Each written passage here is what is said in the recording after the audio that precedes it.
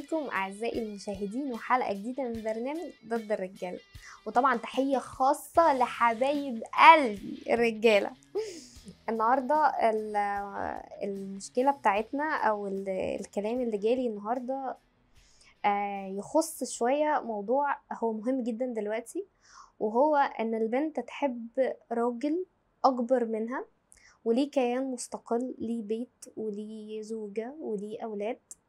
المشكلة اللي جات لي كانت كالتالي كانت بنوتة عندها 24 سنة بتقولي أنا كانت حياتي عادية جدا كان في شخص موجود في حياتي هو صديق والدي كان بيشوفني وأنا عيلة صغيرة بلعب قدامه ويقعد يضربني كده ويهزر معايا ويمسك شعري وأنا معدية والإيه الهزار اللطيف ده طبعا بتاع صاحب باباها. آه بتقولي أنا كبرت قعدت فترة ما أشوفوش وبعدين كبرت آه بقى عندي 24 سنة والدي توفى. آه والدي توفى وكان ليه أعمال وليه شغل كتير فأنا من بعد والدي آه مسكت الشغل بتاعه وبقيت زي كده بيزنس وومن وبدير ناس وشخصية عاقلة جدا وشخصية عملية جدا. لما والدي توفى كان هو واقف جنبي خطوة بخطوة في الشغل ده وبيحاول يوجهني وباخد رأيه في حاجات كتير لأن هو كان صديق والدي المقرب. كنت بثق فيه جدا وبتكلم معاه وكنا قريبين من بعض إيه في الفترة دي جدا. أنا حبيته.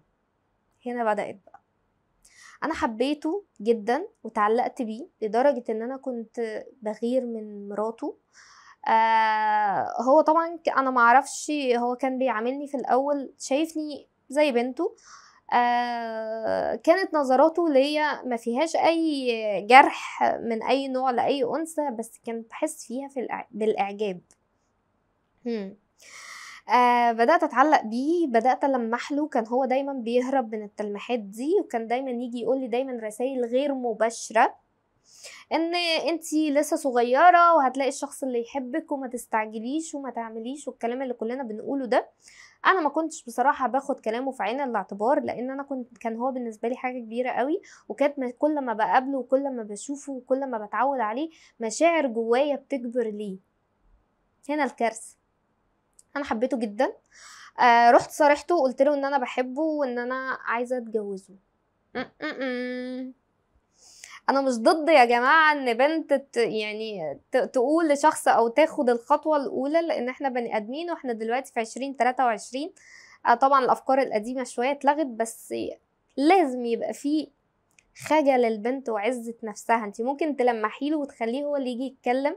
حتى لو وصل الموضوع إن انت تصارحيه بحبك مفيش مشكلة خالص لكن مش درجة تقولي له أنا عايزة أتجوزك يعني. فكده الموضوع وسع مننا قوي. تمام. أنا قلت له كده وهو قال لي آه، الموضوع مش هينفع وأنا خايف عليكي وانتي بالنسبة لي آه، آه، أنا زمان كنت بشوفك طفلة صغيرة واتفاجئت لما شفتك وصرح لي بشوية مشاعر كده كان بيحسها متلخبطة من ناحيتي لكن في النهاية قال لي إن إحنا مش هينفع إن انتي آه، نبقى قريبين من بعض وأنا برضو هفضل آه، الناصح الأمين ليكي وهفضل في ظهرك وهفضل موجود ولما تحتاجي حاجة كلميني. تمام وعدى اليوم ولقيت نفسي تاني يوم بكلمه عادي جدا كأن محصلش أي حاجة. وبرده مكالماتنا كتير وبرده باخد رأيه في حاجات كتير ومفيش خطوة باخدها في حياتي إلا لما باخد رايه فيها. أعمل إيه أنا عايزة أتجوزه وحاسة إن أنا حياتي اللي جاية معاه وحاسة إن أنا شايفاه حاجة كبيرة قوي ومش قادرة أتخلص من الإحساس اللي جوايا آه قولي لي أعمل إيه واللي أنا ماشية فيه ده صح أو غلط.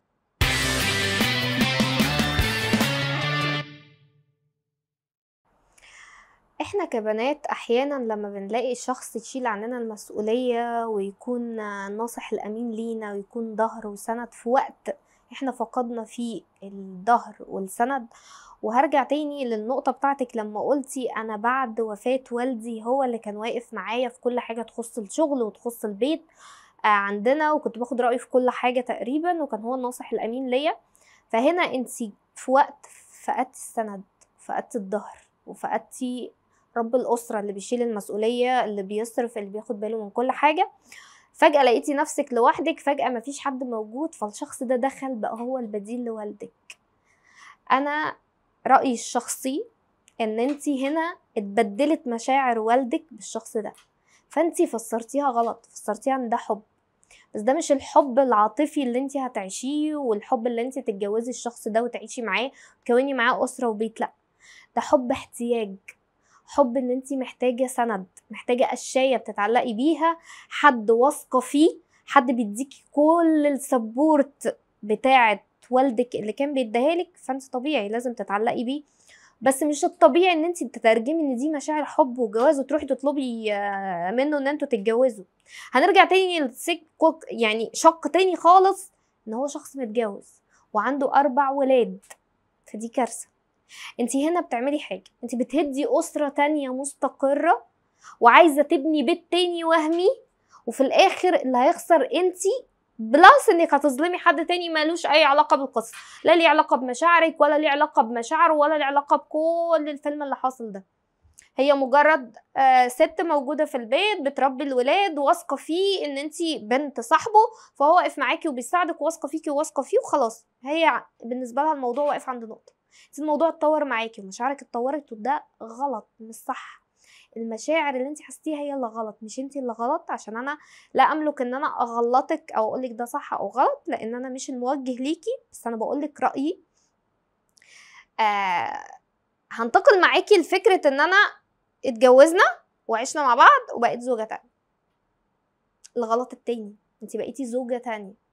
حقوقك الزوجية بتقل. بالتبعيه لأنك زوجة تانية. ما أنت زوجة تانية يا إما هتبقي زوجة في السر يا إما هتتنازلي عن حقوقك ثلاث أيام عند مراته الأولانية وثلاث أيام عندك وال system اللي إحنا كلنا فاهمينه عن الزوجة التانية. plus إن أنت بعد وقت فرق السن بينكم أنت عندك 24 سنة وهو عنده 40 سنة. فرق السن مش هو ال gap الكبير اللي أنا بتكلم فيها ك 16 سنة فرق لأ. فرق السن إن أنت في العشرينات وهو في الأربعينات. فرق آه، شريحة عمرية مش فرق عدد سنين عمر. فرق شريحة عمرية إن انت في العشرينات هو في الأربعينات. انت لسه عندك طاقة وعندك power عايزة تسافري وعايزة تروحي عايزة تتنططي وعايزة تدلعي وعايزة تفرحي وجو بقى اخبطوا بالمخدات ويتنطط في البيت وشغل أغاني ونلعب و...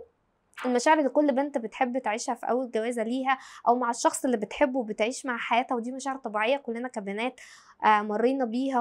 وفي بنات لسه ما مرتش بيها ونفسنا كلنا نفسنا نعيش ده تمام بس هو مش هيقدر يعيش معاه كده لأن فرق الشريحة العمرية اهتماماتك غير اهتماماته مشاعرك وأحاسيسك غير مشاعره. فرحتك بحاجات معينة صغيرة وتفاصيل هو مش هيقدر يفهمها ولا يستوعبها. هو عايز يتفرج على الأخبار يتفرج على الكورة يتابع السياسة في البلد عاملة إزاي. آه، لو هو صاحب بزنس هو هيتابع مشاريع أرقام رايحة جاية. انت فين من كل ده؟ هتحس إن في جاب كبيره أو فرق في السرعات اللي هي فرق الشريحة العمرية فرق في السرعات في كل حاجة. في التفكير في المجهود في الخروجات في السفر حتى طبيعة الخروج اللي هيجي يخرجها معاكي مش هينفع مثلا يروح معاكي الملاهي. مش هينفع مثلا يلا نروح السخنة يوم ونرجع ونتنطط و... و... ودي يوز و... وبول وبارتي و... مش هتعرفي تعملي ده مش هتعرفي تعيشيه.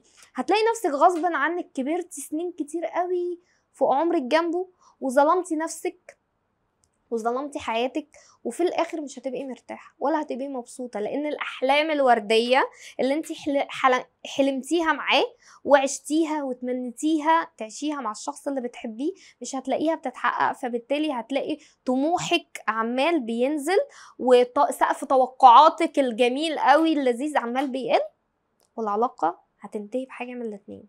يا إما انت زي ما قلت لك هتكبري كتير قوي فوق عمرك وعمرك هيروح وهتلاقي نفسك في الآخر بتدوري بقى على الحب اللي انت كنت عايزة تعيشيه في الأول لما كبرت شوية وعقلك نضج استوعبتي ان لأ أنا مشاعري ناحيتك مش مشاعر حب عاطفية بتاعت انهم يحبوا بعض لأ مشاعر احتياج أب أنا خدتك بديل لأبويا فأنا دلوقتي مش حاساك نفس الإحساس ده ووارد جدا مشاكل كتير قوي بنشوفها إن انت تحسي إحساس تاني ناحية شخص تاني لأن العقل نضج والقلب نضجه وصل لكامل قوته. يا جماعة القلب بينضج زي العقل. العقل ليه مرحلة بينضج فيها كل سنة مع طبعا التجارب والاختبارات بتاعة الحياة بينضج. القلب كمان ليه كل سن ليه حلاوته وليه نضجه. فأنا مش هجرب في نفسي وأقعد أستنى النتيجة لأن كل التجارب اللي حواليكي لو قريتي وعملتي سيرش وشفتي الشرايح اللي حواليكي هتلاقي موضوعك شارح نفسه هو مش محتاج حتى خبير يتكلم فيه. بالنسبة للشخص التاني هو طبعا هيخسر كتير جدا. إن هو هيجازف ببيته وأولاده لو طوعك. بلس إن هو هيبقى بيظلمك زي ما قلنا لأنه مش هيعرف يديلك الحب اللي انت بتتمني منه. أنا في نهاية الحلقة بتاعتي عايزة أوجه نصيحة لكل بنت. اصبري وتأني في إن انت يعني تختاري شريك حياتك. الحب كده كده جاي.